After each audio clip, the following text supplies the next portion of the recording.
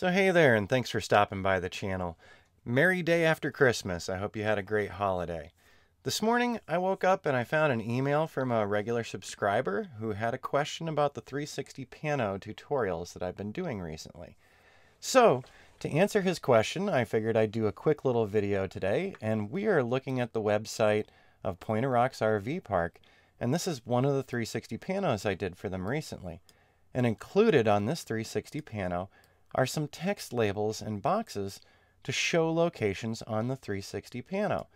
Now, if you don't know how to pull a 360 Pano together, I would suggest to look in the upper right hand corner of this video. There's an info tab. You can click on that, and I've got links to videos number one and number two for doing 360 panoramics as part of your business offering to clients. So today's video is just about how do we get those labels in there? And it's actually very simple. So first you're going to get your 360 panoramic completed with your drone. So you might be using the DJI Go 4 app or maybe the Litchi app, whatever app you're using. In the end, you're going to have to generate your 360 pano first. And that pano is going to look something like this. Here I'm pulling up Photoshop. And so this panoramic was shot with the DJI Go 4 app. And really, the top of the sky wasn't really here. It didn't capture this area that I'm highlighting right now, but I did mirror the clouds and drag them up so that we could fill out the entire panoramic. I'm to get out of there really quick and deselect. So how did we get these text boxes in here? Well, very simple. We just used Photoshop's layers to create each of the rectangles and the text. So we've got one called the Upper Loop and Watson Lake and Point of Rocks Entrance etc., etc. So if I were to go turn off some of these, like here's the upper loop, let's zoom in on that really quick, see the thing that says the upper loop, and there's the upper loop on screen. If I were to turn that visibility off, there goes that text box. So very simply and very easily, all you have to do is create a text box and a rectangle or something else to put under it if you'd like. And then you can just copy the layers over and over again and just relabel each one of them. And in the end, what your file looks like, I'm just zooming back out, there's all of our labels. And what we're going to do is save this as a JPEG. We're going to flatten all the layers, save it as a JPEG, and then we can upload it to our website. And that's in, that's in the tutorial number two, which is linked in that info tab. And the final output is this. So as you can see, we've got our labels on our 360. And one of the really nice things with Photoshop now, if you have the latest version of Photoshop, just to let you know. So we laid this out, we've got it the way we want it, and what I can do over here in my layers, I can select my layers, and I can actually collapse them all into one thing. So I just merged everything that was visible, Shift, Command, and uh, E. And when we do that, let me just go backwards really quick. So I just did an undo. But if I do Shift Command E, that collapses everything over here. So now it's just the background layer.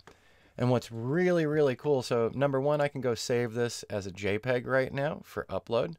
But the second thing, if you would like to do a double check on yourself, you can go up to 3D, spherical panorama, and a new panorama layer from the selected layers. So I'm doing that really quick. And I'm not going to switch to the 3D workspace. But now in Photoshop, I can actually pan around and see what this is looking like. So if I need to adjust where the text boxes are, I know exactly where I want to adjust them to since I'm taking a look around in Photoshop. So the 360 pano works exactly the same way it should. And I'm going to do that undo. So there we go. And I could actually go back to take this off of this 360 view if I wanted to. But so once you're done with your panoramic and dropping your text layers in there, you can go ahead, go up, do a file save as, make a JPEG, and then just as a double check for yourself, when it's all set, you can actually do that 3D spherical panorama as well. So I hope this got your question answered and will make things easier. By the way, the one other thing I like to do in the 360 panos done with drones, we don't get all the way up into the sky. And you can actually see this little edge layer here where things are not perfect. One thing that you can do if you don't want to drag your clouds or your skies all the way up, you could leave this as white space on the top and instead you could throw a couple of text layers in there, maybe with the phone number, you know, if it's a resort, hey, call us at whatever number. Or if it's a property listing, you could also put your real estate uh, business's phone number in, give us a call today to find out about purchasing this property, that kind of thing. So, all right, there we go. I'm going to close out of Photoshop. I'm not going to save those changes because I still want to keep that Photoshop document. But in the end, it's that simple.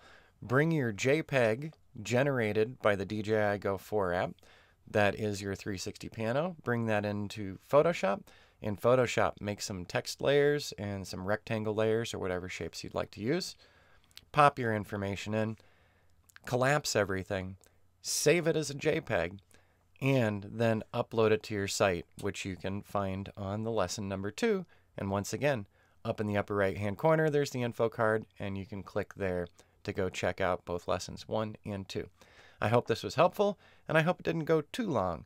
So, pretty simple, pretty straightforward, and the results are fairly compelling, especially for clients who would really like to show off their property, uh, their vacation location, whatever it is they have popping these little labels into the 360 panorama just adds a little extra to it, and it usually impresses clients. Um, well, yeah, it, it always impresses clients, and they always think it takes longer than it really does. So give it a whirl today and see how yours comes out.